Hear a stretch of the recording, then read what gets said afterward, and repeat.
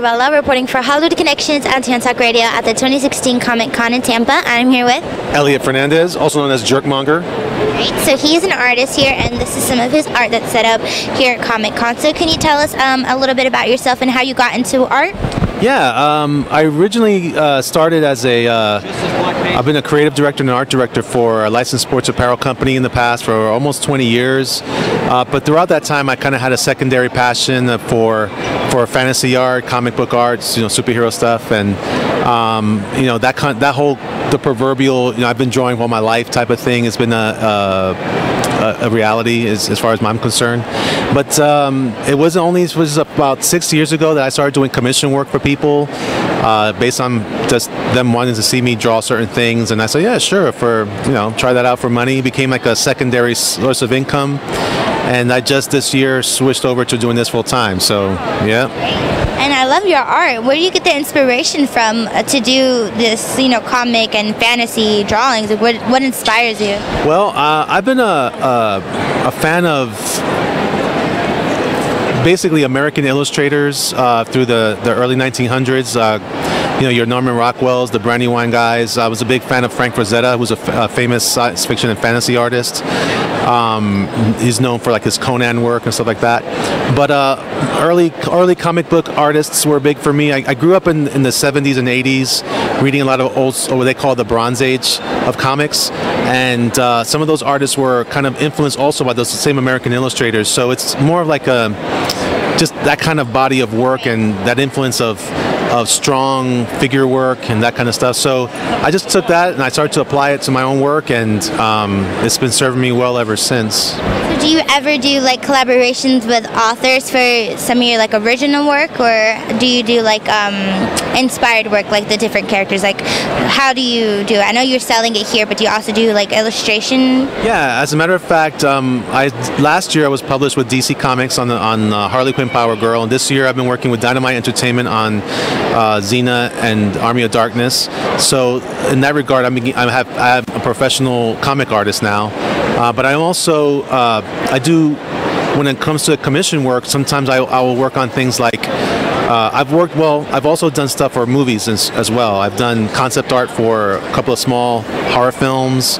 Um, I've also done um, storyboarding for Marvel Animation.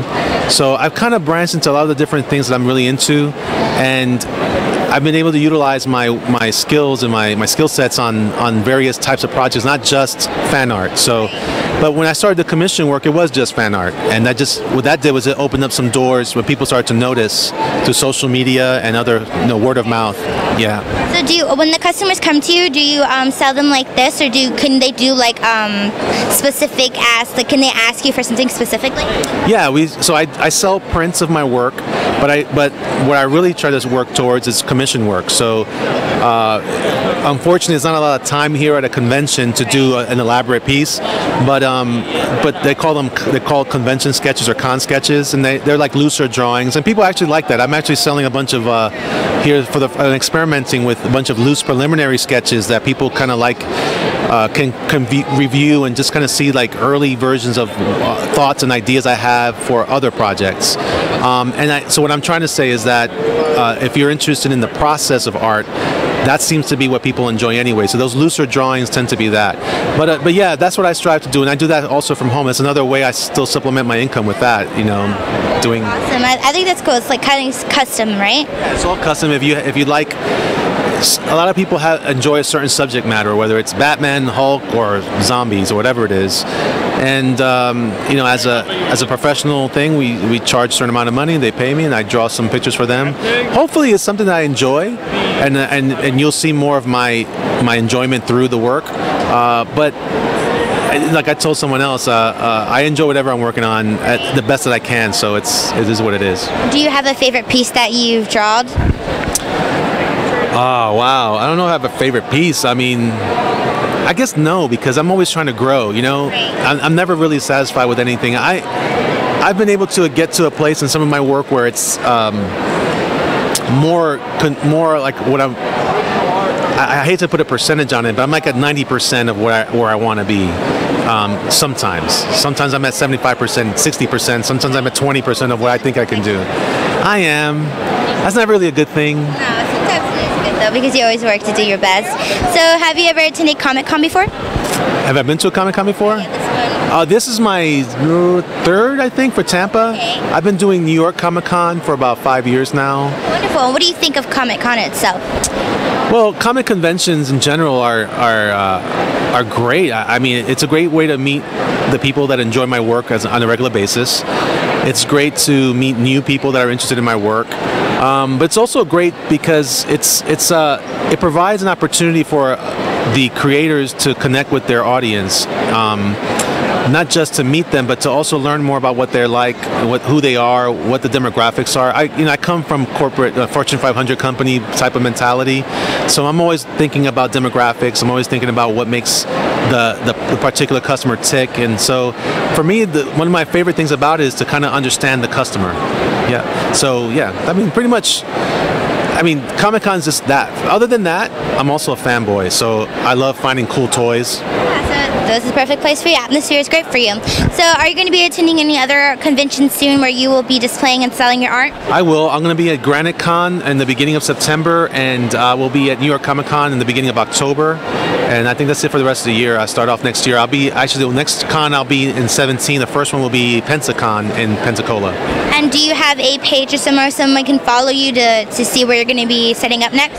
The best place to go right now, uh, before I build my website, I'm almost done with that. But I'm I I, I uh, work through a lot of uh, my customers and talking to them through Instagram.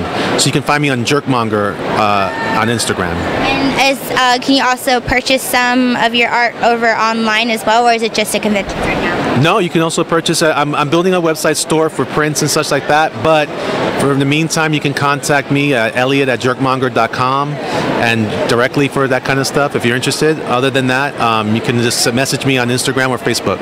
Wonderful. And before we go, do you have any last words for any inspiring artist like yourself who just needs a little bit of advice for getting started, or if just like having a block as an artist that you can share with them? Draw all the time, even when you don't want to draw. Draw. Draw anything. Don't just draw superheroes. Don't just draw women in spandex.